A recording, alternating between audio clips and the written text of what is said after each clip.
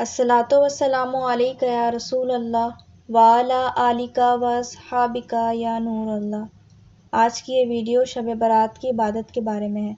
Video को and तक ज़रूर देखिएगा और अगर आप चैनल पर नए हैं तो चैनल को सब्सक्राइब कर दें और बेल आइकॉन को क्लिक कर दें।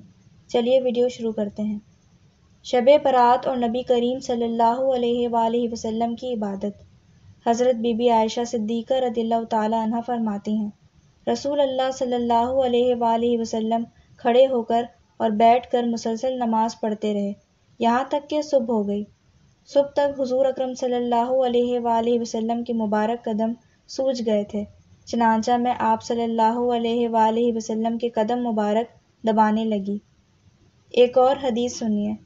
हज़रत सैदना आयशा सिद्दीक़ा रदिल्ला तह फरमाती हैं कि मैंने हुजूर नबी करीम सल्लल्लाहु अलैहि वसल्लम को पंद्रह शाबान की रात जन्नतुलबकी में इस हाल में पाया कि आप सल्लल्लाहु अलैहि वसल्लम मुसलमान मर्दों, औरतों और शहीदों के लिए दुआए मगफिरत फरमा रहे थे।